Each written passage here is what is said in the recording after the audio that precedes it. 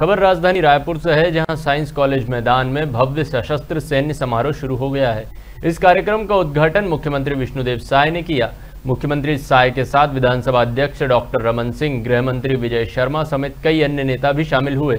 इस दौरान सीएम साय ने भारतीय सेना के हथियारों को अपने हाथों से उठाया और उनकी खासियत जानी। उन्होंने कहा कि सेना का कार्यक्रम देखकर वे रोमांचित हैं, युवाओं को अग्निवीर बनने का मौका मिले तो ज़रूर जाएँ। ऐसे कार्यक्रम हर साल होने चाहिए। साथ ही उन्होंने कहा कि लोगों की मांग पर इस कार्यक्रम को एक दिन और के लिए और बढ़ाया जा रहा है। बता दें, कार्यक्रम पाँच छः और सात तारीख तक चलेगा। साथ ही धूप ज़्यादा होने की वजह से इस कार्यक्रम के समय में बदलाव किया गया है।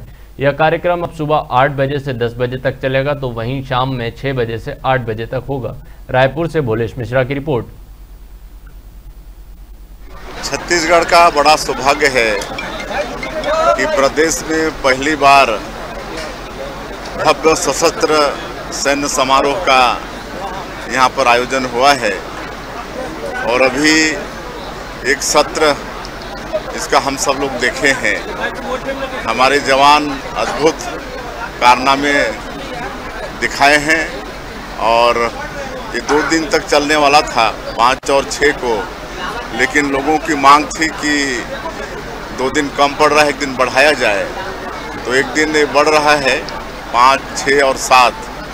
और चूँकि धूप ज़्यादा तेज़ है, इसलिए सवेरे आठ से दस बजे तक दो घंटा और शाम को छः बजे से आठ बजे तक दो घंटा ऐसा यहाँ पर मतलब प्रदर्शनी रहेगा।